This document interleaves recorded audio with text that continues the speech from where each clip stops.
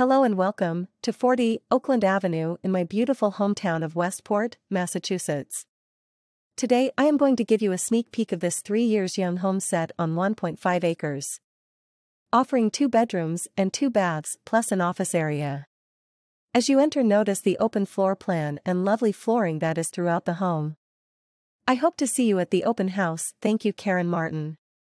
Hello and welcome to 40 Oakland Avenue in my beautiful hometown of Westport, Massachusetts. Today I am going to give you a sneak peek of this 3 years young home set on 1.5 acres. Offering 2 bedrooms and 2 baths plus an office area.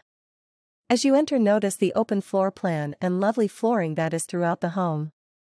I hope to see you at the open house, thank you Karen Martin. Hello and welcome to 40 Oakland Avenue in my beautiful hometown of Westport, Massachusetts.